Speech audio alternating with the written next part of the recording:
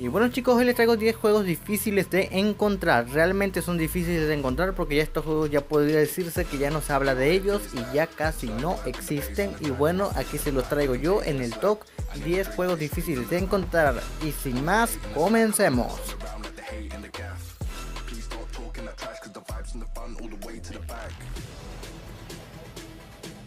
Y en el número 1 tenemos a Spin Cell Conviction del 2011. La verdad este juego pues, realmente es viejito, este juego realmente es clásico y realmente vale la pena recordar este título.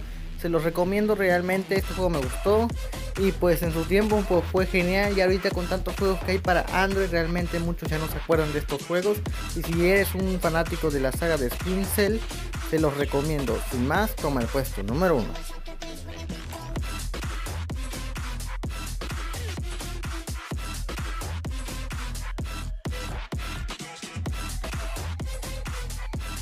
Y en el número 2 tenemos a Asphalt 7. La verdad, como no recordar este título, realmente fue popular en su tiempo cuando la compañía realmente hacía buenos juegos, la de Gamelock, que ahorita no sé por qué se les ocurre hacer cada tontería, pero bueno.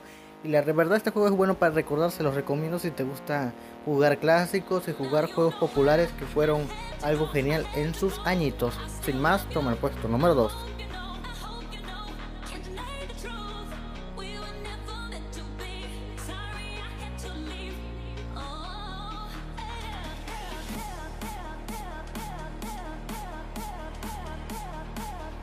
Y en el número 3 tenemos a Nova 3. ¿Cómo no recordar este título? Realmente me pareció algo genial. No el Nova ahorita que está en la tienda de la Google Play. La verdad ese juego realmente no me gustó. Y aparte que es en línea. Este juego te lo recomiendo. Tiene muy buenos gráficos.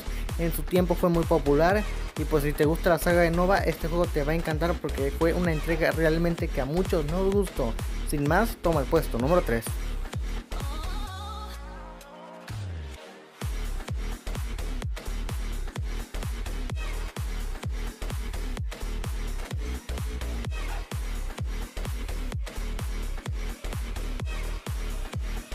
Y en el número 4 tenemos a Pac-Man, para no decir el nombre en inglés que está largo. Bueno, sin tanto que decir, este juego pues realmente me pareció algo genial, la verdad. En su tiempo también, como puede decirse, es algo genial. Y todavía ahorita puede decirse que es algo genial por los gráficos que tiene. Y ahorita cualquier dispositivo lo corre. Si antes lo corría un Alcatel, ahorita lo corre cualquier teléfono. Sin tanto que decir, este juego es un juego favorito de Pac-Man. Fue creo el que más pegó, el que más me gustó. Y sin tanto que decir, toma el puesto número 4.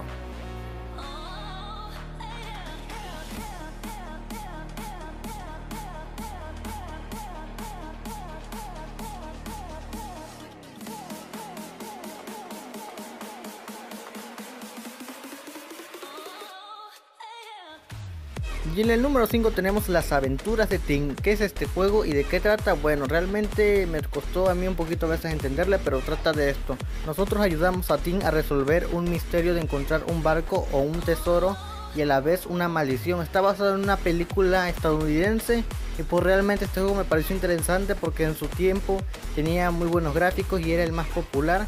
Y ahorita pues ya no muchos se acuerdan de este juego y juégalo si quieres saber un poquito más del misterio y si no le entiendes, ve la película que se llama Las aventuras de Tim, que también tal vez te guste y tanto que decir, toma el puesto número 5.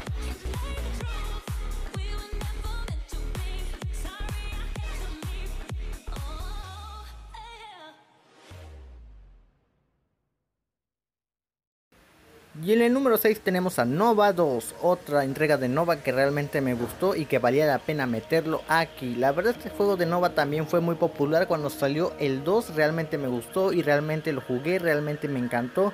Y pues realmente los juegos de Nova sabemos que siempre son buenos, siempre me recuerda mucho a Halo, me recuerda mucho a Drag Effect, por la forma en que es. Sin tanto que decir este juego pues realmente no pesa mucho y lo corre ya todos los dispositivos. Sin más, toma el puesto número 6.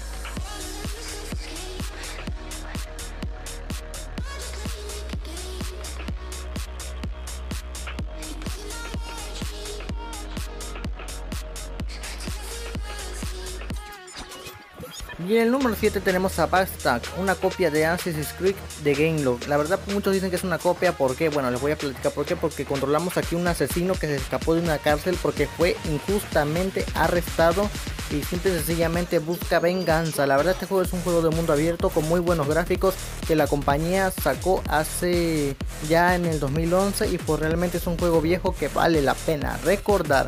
Sin más, toma el puesto número 7.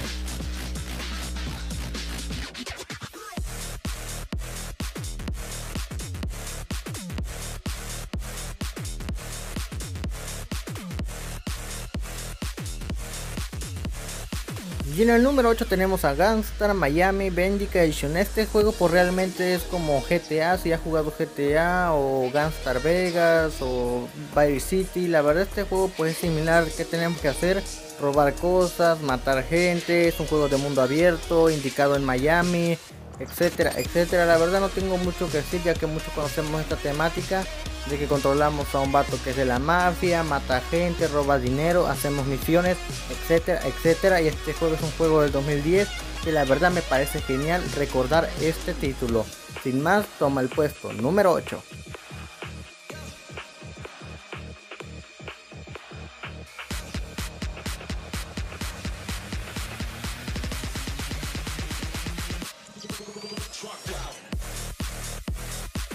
Y en el número 9 tenemos a Ultimate Spider-Man Total Main. La verdad este juego pues, realmente fue el mejor juego de Spider-Man de aquella época del 2012. La verdad este juego valió la pena y todo el precio que pagué por él. La verdad este juego pues realmente te lo recomiendo si te gustan los buenos juegos de Spider-Man. Y la verdad este juego pues tenía muchas cosas que los otros juegos no tenían. Podíamos tomar fotos a los villanos, podíamos hacer ciertas cosillas que ya no me acuerdo, que ya tiene sus añitos que no lo juego. Pero realmente este fue el mejor de aquella época del juego de Spider-Man. Si te gustan los juegos de Spider-Man donde tenemos que obviamente seguir la historia de Spider-Man, pues realmente te recomiendo este juego. Sin más, toma el puesto número 9.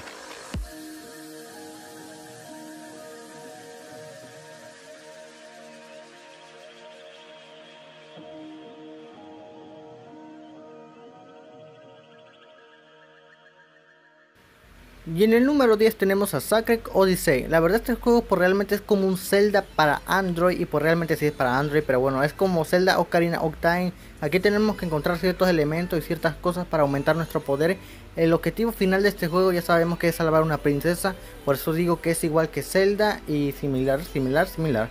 Bueno, sin tanto que decir este juego, pues realmente es un RPG de mundo abierto que realmente me gustó mucho y si te gustan los juegos estilo Zelda, este te lo recomiendo. Sin más, toma el puesto número 10.